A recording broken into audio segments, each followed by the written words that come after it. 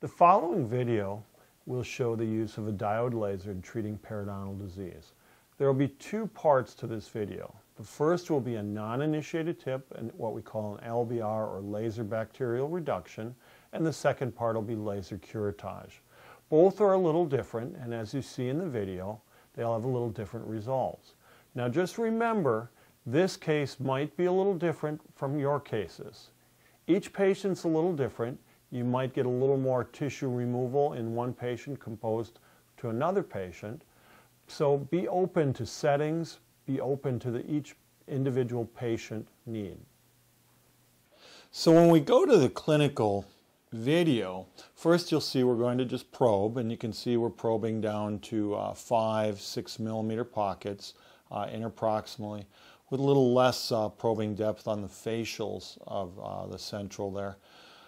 Uh, we'll also have some bleeding on probing, as you can see. Now we're going to demonstrate both the LBR laser bacterial reduction, which is a non-initiated tip at about a half a watt power, which we're doing now.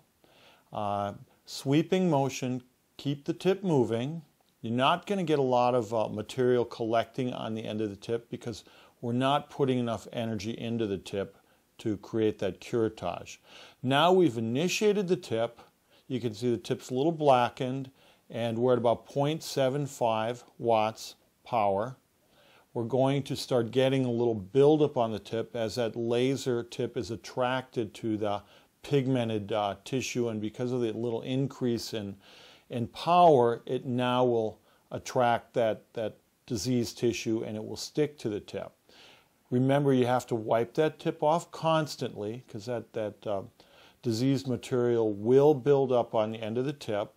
Again, keep the tip moving uh, while you're doing it. You want to paint that wall, paint that soft tissue wall at all depths of that pocket. You can see we're going to get some bleeding. Uh, we're wiping it off again. We're wiping the teeth off a little just to get some of that excess bleeding out of the way. And when we're done, we're going to go over it with a little chlorhexidine wipe. How do you know when you're done? Because you'll have a lot less bleeding.